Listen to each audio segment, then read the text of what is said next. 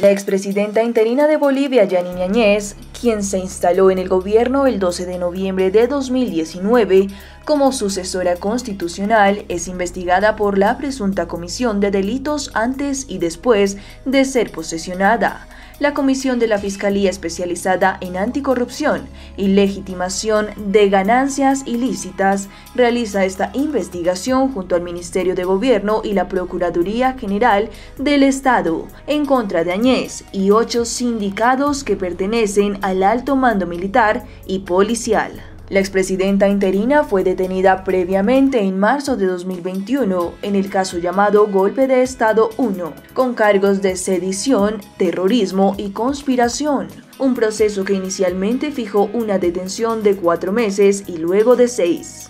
Luego se abrió otro caso, Golpe de Estado 2, por el que se amplió ese plazo a seis meses más con acusaciones de incumplimiento de deberes y resoluciones contra la Constitución, que es por el que será juzgada. Marcelo Valdés, abogado de la exdiputada Lidia Patti, quien inició el caso de golpe de Estado 1, aseveró que se cumplió con todas las etapas procesales penales como sería la investigativa, la resolución de imputación formal, imputación formal contra todos los acusados para llegar al juicio oral público. Juicio oral que fue suspendido el pasado 10 de febrero y aún no se ha emitido un nuevo auto de apertura de juicio, donde todas las partes serán nuevamente notificadas con una nueva fecha, en este caso denominado Golpe de Estado 2.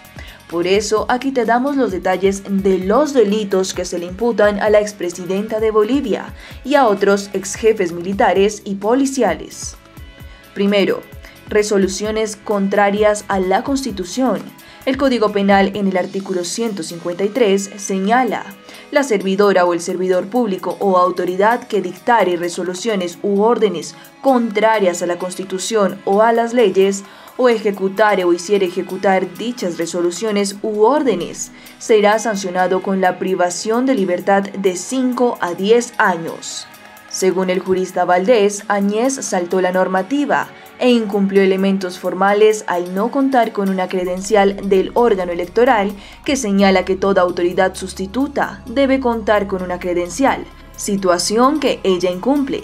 Por lo tanto, no tiene personería, aseveró explicó que en caso de la sustitución del expresidente Evo Morales, debería haber sido con un miembro del movimiento al socialismo, más, situación que no se cumplió como indica el derecho electoral, aunque la cartera del MAS había renunciado a sus puestos. El sustituto debía salir del partido ganador, en este caso del MAS. Eso es derecho electoral. Esto no se ha cumplido. Es por eso que la señora ha emitido resolución contraria antes de asumir supuestamente el cargo y posteriormente, acotó el jurista.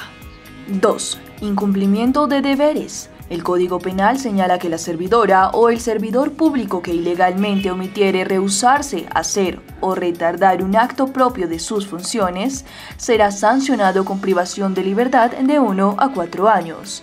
Según el jurista Valdés, la exmandataria comentó los delitos de manera instantánea e inclusive antes de asumir la presidencia de manera irregular, porque en su presunta calidad de presidenta del Senado no dio lectura a la renuncia del presidente ni del vicepresidente de ese entonces, por lo que presuntamente asumiría de facto la presidencia. En primera instancia, nunca se ha dado lectura a la renuncia, no se ha tratado la renuncia del señor Evo Morales, del señor Álvaro García Linera, que tenía que ser tratada en la Asamblea Legislativa Plurinacional, indicó. La autoproclamación de Añez en la presidencia del Estado de 2019 no consideró de manera previa las renuncias de las autoridades electas en línea de sucesión. 3. Caso Golpe de Estado 2. La sentencia constitucional 0052-2021 estableció de manera inapelable que la llamada sucesión ipso facto que se argumentó para justificar la autoproclamación de Añez es inconstitucional.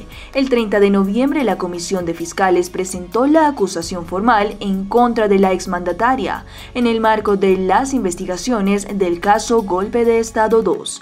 Según la Fiscalía, se cuentan con más de 70 pruebas y casi una veintena de declaraciones testificales que indican que Añez adecuó su conducta al tipo penal previsto en el artículo 153 del Código Penal referido a resoluciones contrarias a la Constitución y a las leyes. Además de haber adecuado su conducta al artículo 154 del mismo cuerpo normativo por incumplimiento de deberes.